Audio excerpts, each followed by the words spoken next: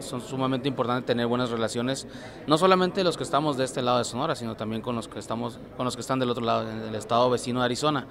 Y la verdad que muy gustosamente venimos porque ah, sabemos muy bien que Sonora tiene distancias grandes entre municipio y municipio, más sin embargo conformamos una región fuerte este, y hay diversidad de actividades, desde el turismo, este, lugares, pueblos mágicos, este, industriales y demás. Entonces todo esto es una gran oportunidad para en el caso de nosotros poder promover nuestro destino eh, turístico y también eh, relevar los datos duros que tenemos como municipio para poder invitarles y más que ahorita estamos en un periodo vacacional próximo. Precisamente en este tema, en este, en este mismo orden de ideas, ¿cuál es el atractivo principal o cuál es la expectativa de ustedes como puerto en, este, en esta temporada de Semana Mayor?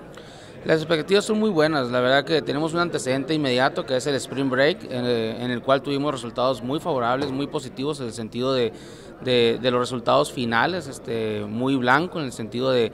incidencias y demás. Y para este periodo vacacional hemos implementado un operativo sustancioso, eh, muy completo, con una visión integral de lo, que, de es la atención al turismo. Y una de las principales bondades que tenemos es el, Pinacate, eh, la Reserva de la Biosfera del Pinacate y Gran Desierto de Altar, que es patrimonio de la humanidad.